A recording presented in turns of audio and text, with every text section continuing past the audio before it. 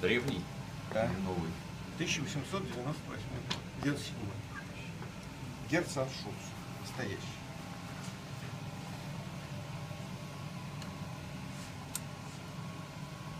Но объектив не такой. Объектив 63 года.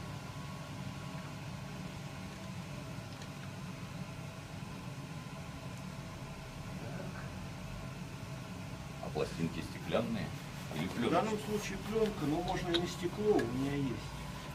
Стекло, но это вопрос этот, вкусовщины. Потому что результат вы потом не отличите. Я считаю, что вопрос результата. Так, на желтую прищепку. Так, отлично.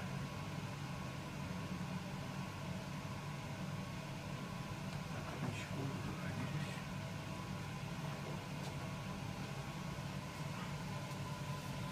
Так. А все будет так же, как до исторического материализма.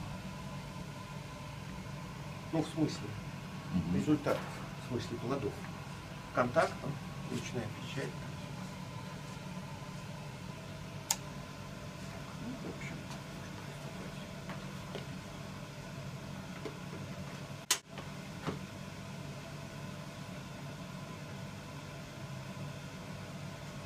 Засады, это знаете. Хихикать не надо, потому что экспозиция будет секунду. Иначе мимические фазы сделают у нашего лица рожу. Меня. Так, еще, еще один. Засада это место, где тебя всегда ждут. Единственное. Сейчас. Полностью антикварная деятельность. Заодно, получится, украшу книжку про формат. Так, за ней смотрим куда. Вы зачем надулись? Вот, вот, ну вот так, нормально. Нормально, спокойно. Все, отлично. У меня есть книжки по истории фотографии, целая серия. Они называются «Апланат». Это про древние объективы Апланата 19 века и о том, как создавали, что им сейчас можно сделать, снять в смысле. Мгм. В чем их преимущество, цимес? А, про Дагоры и про Тессары. Три книги раздельно. Такое это вот третье название знаю, предыдущий даже не слышал. Ну вот, а это была целая эпоха. Это каждый объектив, это целая эпоха. Ну вот, вот сейчас у меня значит, заказана книжка про, ну, которая будет называться формат. То есть вот как э, извращаться таким способом. Понятно, что это в основном для богатых, для извращенцев, потому что это все дешевое дело, и для всяких конченных развратников в области визуальных искусств. Вот. Меня попросили, значит, у меня заказ просто конкретно, не отдавать книжку через три недели. Мгм. Я поэтому притащил с собой ящик, ну не ящик, ящик подобный. Хотите он центральный. Да, центральный, но это объектив 64 года. Вот вы не сядете, а, пожалуйста. Лезьте. Снимите очки, разобьете и берете. Мгм. Какая отвратительная рожа. Ну что, Она мне хотите- помогает. хотите рожу снять? Не жалко на него пленки. Слушайте, хорошие люди со временем, знаете, как седла и лужи. Да вы сделаете вид, что Это вы не я сказал, что не вы. Значит, они становятся только лучше. Значит, смотрите, делаем так. Значит, для того, чтобы навести на резкость, вот это вот у меня отпущен ролик, вот этой рукой сюда. Так, понятно, да? Крутите туда-сюда. Наводите на резкость, вперед. Того, как наведете, Это называется кремальера. да, это точно, абсолютно, значит, так. Вот, вперед. Туда-сюда. Э, Наводите по глазам или подушки очков, будет проще, потому что, но лучше по дальней, по дальней дужке. Тут мне другие очки нужны, у меня нету, я так не. Ну, поняли, Не да, как? Да. да. Все, давайте. наведу. Значит, наводка должна быть по дальней крема... э, Значит, вы смотрите на прищепку, не надо суетиться. Вот, значит, надо наводить по дальней. Почему? Потому что смещение. Все объективы, независимо от того, как они сделаны, они уходят Мгм. на вас. Резкость уходит у всех. Даже вот у современных всех, все там сплошной обман. Значит, вот мы закрываем, экспозиция уже известна. Значит, все. Клиент затихает. Раньше, когда дрыгались мерзавцы, Их фиксировали. их фиксировали за подголовниками.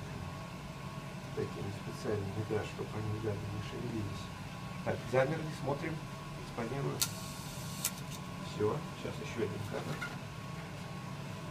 Вот так это делается. Не просто. Совсем просто.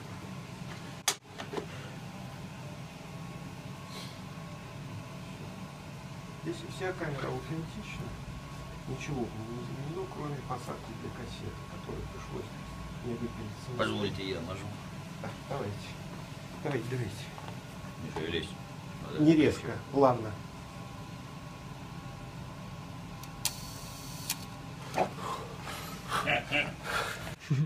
Самое сложное это не шевелиться, да? Когда еще говорят, не шевелись. Сопротивление четко Де- вещь. Делает один сумасшедший маньяк в Нью-Йорке.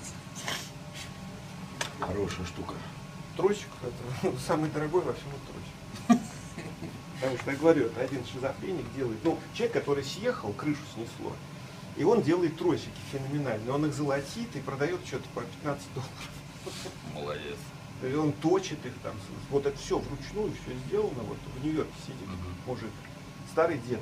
Вот у меня таких три тросика.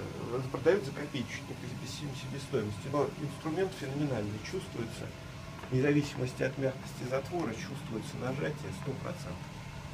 Шикарная вещь. Это предмет моей Видимо, все подобрал. Самодельные крышки. Ручная работа. Сам делал. А? Как ходит О. и как выходит. А сейчас такие делают какие-то Синар, что-то там с Синаром, Ну, да. если есть. Да уже не выпускают, тебе, Господи, ну это неудачная модель. Это швейцарцы в 70-х годах начали делать просто из столюки из такой. Ну и куда вы понесете вот такой кофр весом 30 килограмм? Ну и, и какой пленэр? Я вот сегодня вышел в дошел до него, развлекался. Ну и вот спокойно, вон, маленькая водочка. А, тот куда? Надо, чтобы... Нет, я не против, но просто все время перебои с неграми, которые буду с тобой носить. Ну, не просто так, деревянный.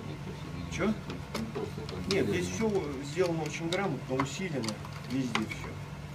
То есть это очень грамотная камера. Кожица родная еще. Так нет, а когда сейчас я ее разберу, вы еще удивитесь, какого она размера. Она весит меньше, чем какой-нибудь несчастный Никон. А все в предках дураками считают. Да, это они не знали, это не умели. Вот сейчас. Однако. Однако. А вот это все. Это 13 на 18, обращаю. Это даже не 4 на 5. 13 на 18, то есть 5 на 7. Это ведь шедевр. отличные снимки получались. Ну, мы посмотрим, что получится, а потом сами посмотрите. Что говорить, да, надо смотреть. А экспонометр, позвольте гляну. Отечественный, патриотичный, Свердловск. У него идеальный э, приемный элемент, который спектр соответствует точно пленке и угол 20 градусов. Ну, вы когда меряете, ну, вот вы хотите, например, замерить вот это. Вы нажимаете эту кнопочку и крутите вот этот колесико. Видите, красная лампочка зажигается, да? Вот она погасла, это экспозиция. Вот здесь выбираете пару диафрагму, выдержку. При этом вы можете смотреть на объект. Ну, лучше на светлое.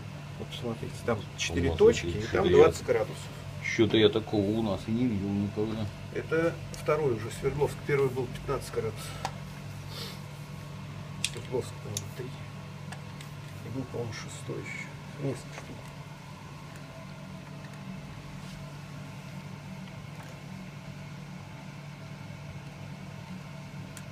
Ну вот. Угол 20 градусов. Спектр идеально соответствует пленке. Причем меряет и по падающему, и по отраженному. Вот так вы меряете. У вас фотоэлемент направлен по отраженному, да? А вот так вот мерите по падающему. Ну, например, от источника. Когда у вас много источников, можно и по падающему замерить.